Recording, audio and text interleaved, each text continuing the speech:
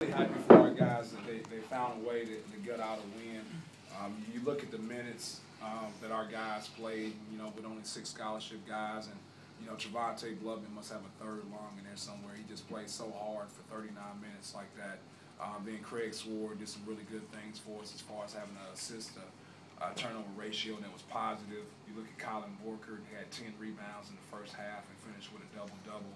Um, but just finding a way to, to gut out a win and then to go in the locker room and see so many people happy for Baxter Price because he's just been an absolute warrior for us every day in practice. So um, the last thing I want to say is like you, you get a chance to, to read some things and, and people are talking about we're the worst team ever in SEC history.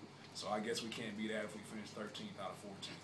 The players, uh, the players are mentioning that, you know, Denson was trying to get to the basket, was doing having a lot of success. You guys called timeout and said, cut off his left hand, don't let him drive left. One correction, he wasn't trying, he, he was. he, he got to the basket every single time, and, you know, scouting report, we told him don't let him go left, he's going left. He was coming off a pin down screen and just turning the corner and really causing problems for us defensively. So uh, we made a couple of adjustments as far as like trying to take that away from him on the catch. But uh, he went right, you know, one time and had a turnover there on the baseline.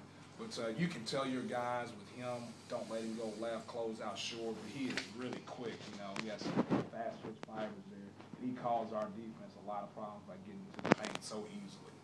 Uh, Sword, um, Borchert and Sword both had great games, obviously, but Sword, I mean, kept the turnovers down, uh, made some shots and hit the free throws, even though he'd been struggling at the line there. I mean, Yeah, you know, and I was wondering where our offense is going to come from there uh, because we struggled there offensively in the first half. But you know, to our guys' credit, they did a good job defensively as well in the first half too. But you know, we, we ran some ball screen actions for uh, Craig Sword up top early, and he got into the lane. He created offense, you know, for himself. Got to the foul line, just broke down the defense right away because we wouldn't have a lot of success in our motion. So, Yeah. um, you know, Craig's that guy for us that's got to be able to get into the lane and go make plays when we can't find offense. It Was this Borchert